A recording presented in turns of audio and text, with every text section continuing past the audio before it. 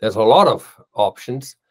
And um, the the deeper question is why do we need to do modifications? I think because what we went is kind of backwards with saddle designs in the last 10, 15 years in the whole in our industry, so that veterinarians and universities write articles such as this one here, where they talk about the importance of the twist of the saddle fit, you know, and um, yes, we want a close contact as a rider to the horse, but what happens is that the actual, well, fitting becomes an issue because by making here down there, there's the bar, and by making them narrow and narrow through the bar, um, the saddle becomes hollow in the center.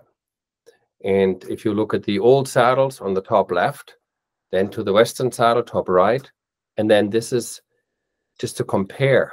These are the bars here, and these are the first bars. See how wide they are, especially in the center. And by making them narrow, narrow, narrow, these narrow bars becoming a huge problems. So I outlined on the horse's back here with the white where the saddle would hit. And then that green rectangle shape, that's where it should fit. And you can see the 30, 40, 30. You can see that where the center where the rider sits, this is where the tree used to be the widest. See that, Madison, how wide the bars are in the center? Yep.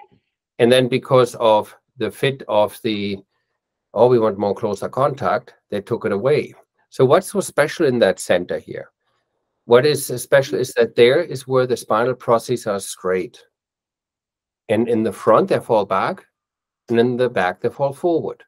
So it used to be um, this white line here, right there in the area where the spinal processes are forward, falling back. We have okay. more contact of the tree in the back yeah. here and in the front and in the middle. Yeah. So obviously, the solution would be we go back the way it was, but nobody likes it because it's too wide. So the solution, therefore, is this is actually, we won Product of the Year award in a huge trade fair in, in New Zealand, where we introduced the Binate line, where the tree has a, it's a two-part tree. It's a very, very, very strong, thin material.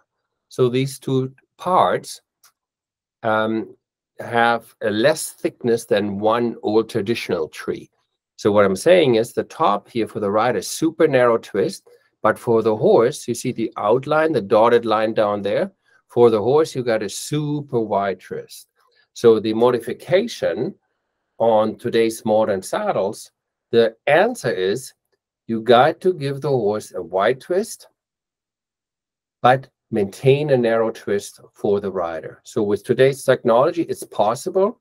If you have an old Schleese saddles, we can easily convert that um, we also have PSI panels in order to um, avoid the problem with kissing spine. Because if we go back to the to the system where the trees are super narrow in the front, in the middle, and put all the pressure right there where the spinal process fall back forward or backwards, either or, if you're in the back on the front, that's where we get kissing spine. If we increase the width in the center, okay, so you can see the dotted line there.